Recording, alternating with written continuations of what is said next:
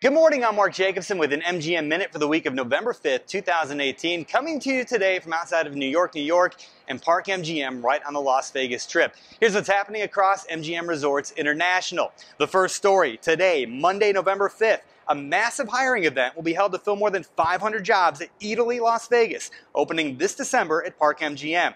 Positions include a variety of cafe, retail, restaurant, and management opportunities, with the majority of them being full-time. In many cases, hiring will be done on the spot, and everyone hired will become an MGM employee.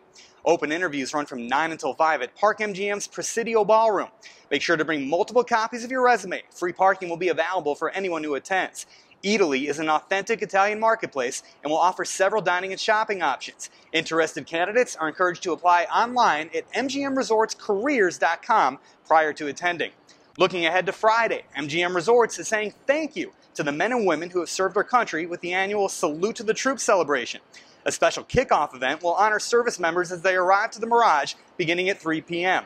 Each year, the company welcomes wounded veterans and their families to Las Vegas for a weekend of sightseeing, relaxation, and other activities. Salute to the Troops is a partnership with American Airlines and the USO. MGM is committed to actively recruiting military members and currently employs more than 4,600 veterans. The company also goes above what the law requires for employees who are involuntarily called to serve, continuing 100% of their base pay while deployed. We've had plenty of big news to share recently from MGM Resorts involving new sports partnerships, and more news could soon be on the way. The past week saw the announcement of two groundbreaking collaborations, first with the National Hockey League, and then with the National Football League's New York Jets. The deal with the Jets includes an interactive game on the team's mobile app named I Called It, in which fans can win non-cash prizes. And finally, just a few days ago, MGM's Beau Rivage staff presented Habitat for Humanity of the Mississippi Gulf Coast with a $12,000 donation funded by the employee-driven MGM Resorts Foundation. That money was raised last spring as part of the Women's Build Project. Through the project, four groups of Beau Rivage team members volunteered more than 500 hours to help build a new home for a Gulf Coast family in need.